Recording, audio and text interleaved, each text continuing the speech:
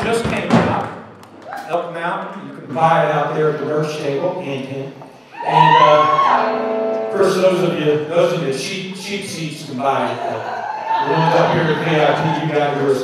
And uh, by the way, we're on Spotify and iTunes, so good stuff. So anyway, uh, we're going to do a bunch of original music for you tonight. Uh, the first song is on the record, the second one is not, nor is this one. It'll be on the next one.